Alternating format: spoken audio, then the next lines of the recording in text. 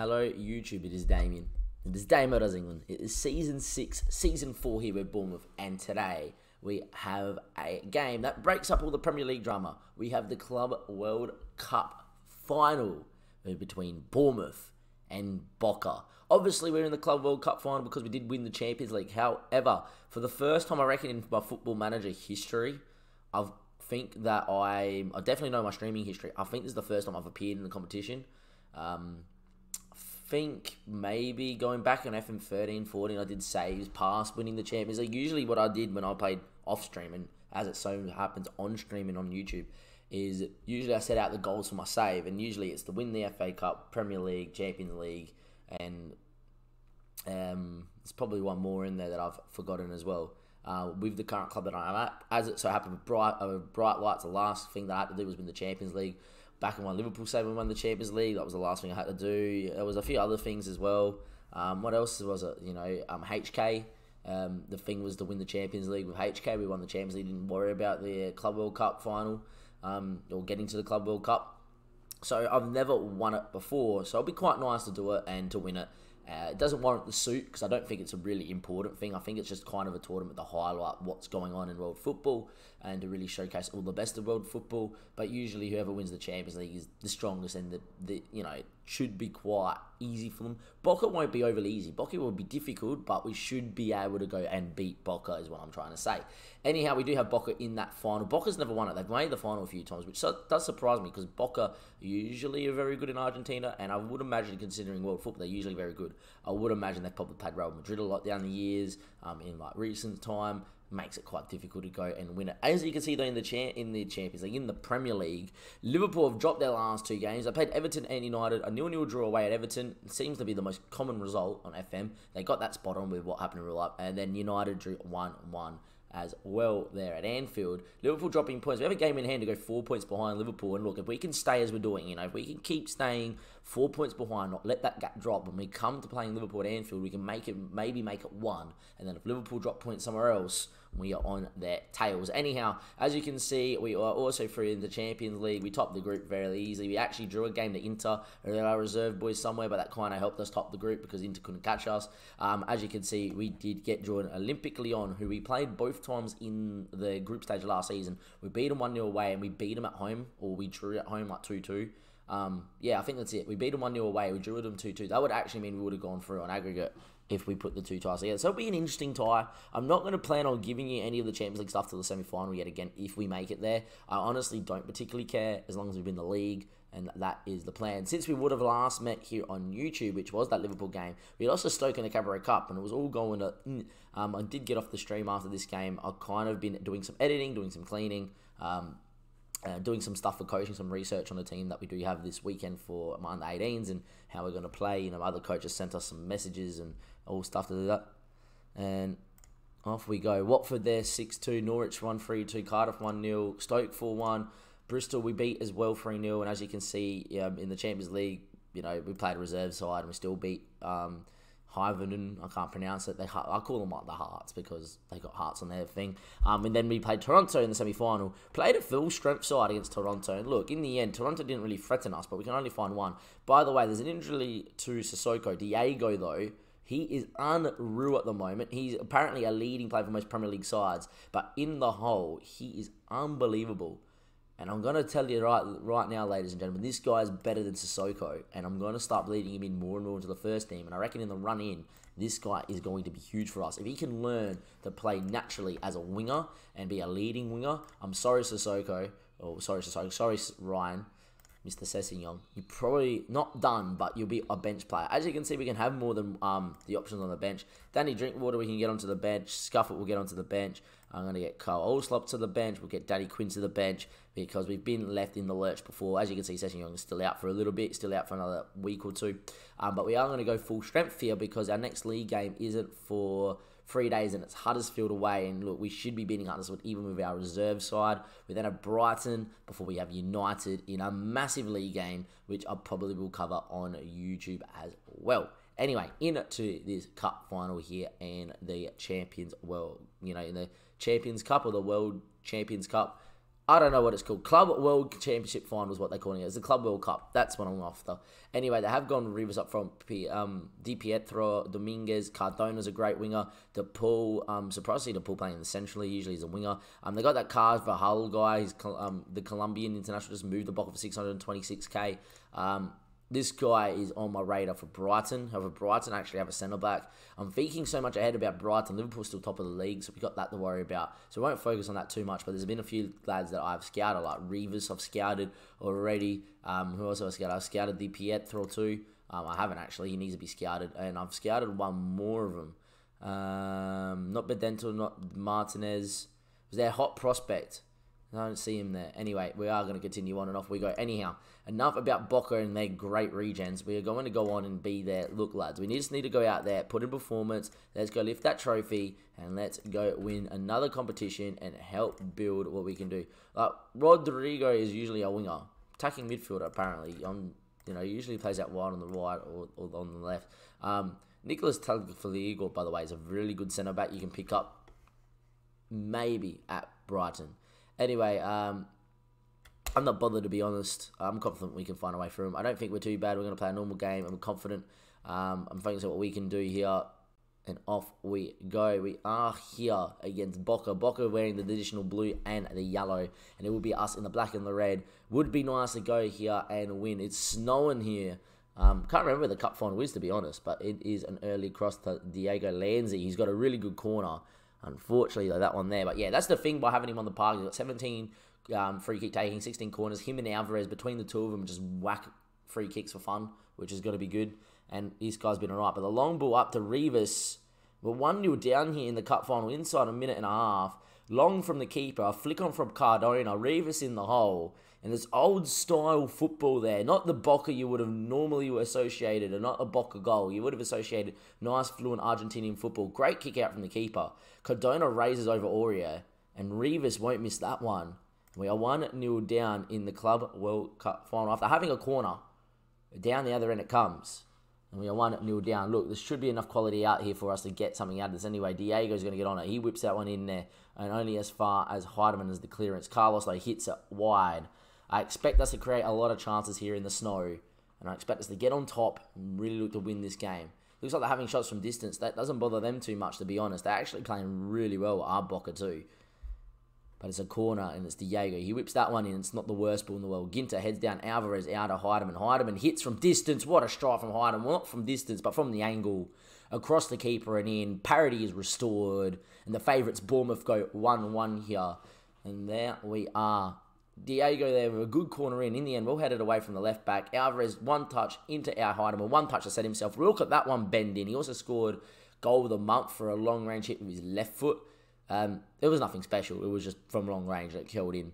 Anyway, Cardona's off injured, which is huge because Cardona, I think, is like a great winger to pick up. Um, you know, he's technically superb and he's physically not bad. If you can pick him up early in your Premier League saves, not a bad player. Anyway, long end. It's going to fall to Silva. Silva now. Good ball out to Diego. Diego through. Pietro Pellegrini with a chance. What a save from the keeper.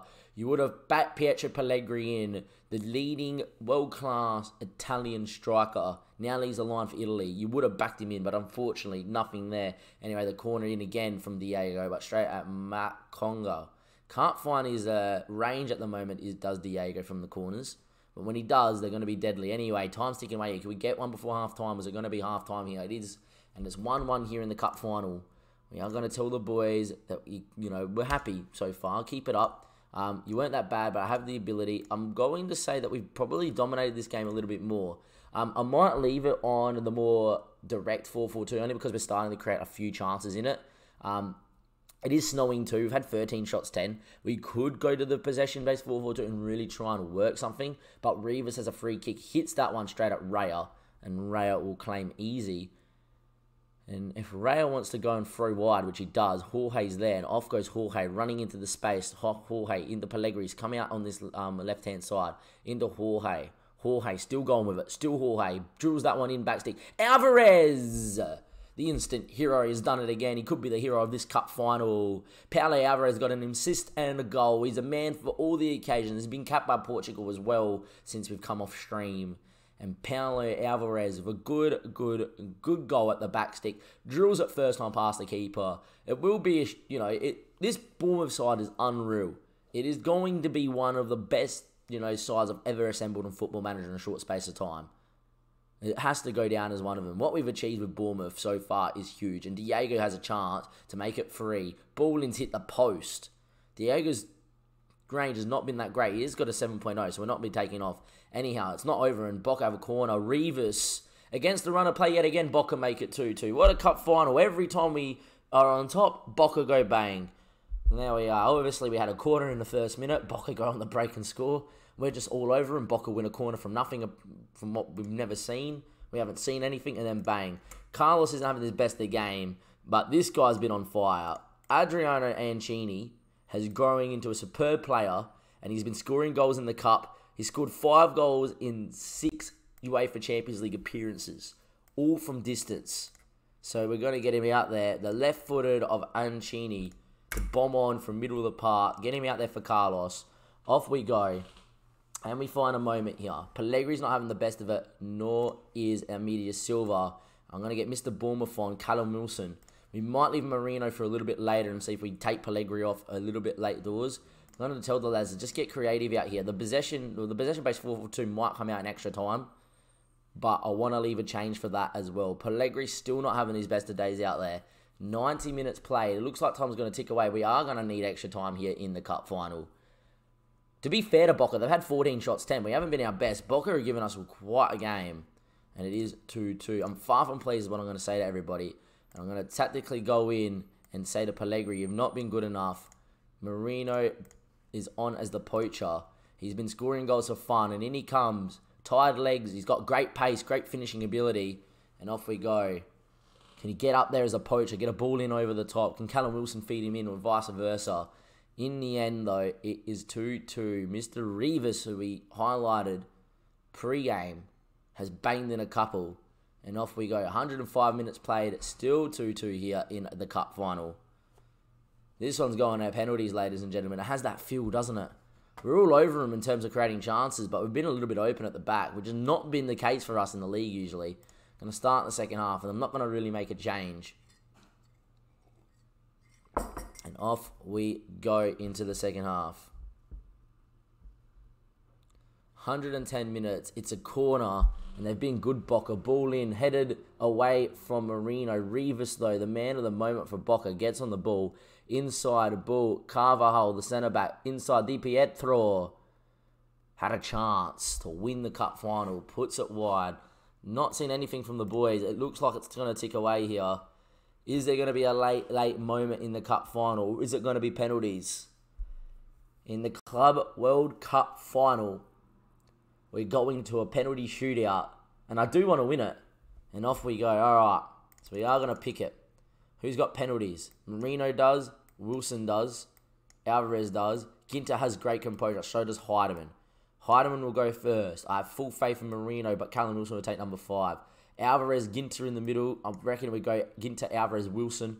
We go like that. You'll then probably get Jorge in as well. Probably get Wallace in. Um, Sergio Aurier's got good composure as well. We'll get him into if we need eight. We have a very good keeper out there. David Raya is known for a little bit of a penalty stopper.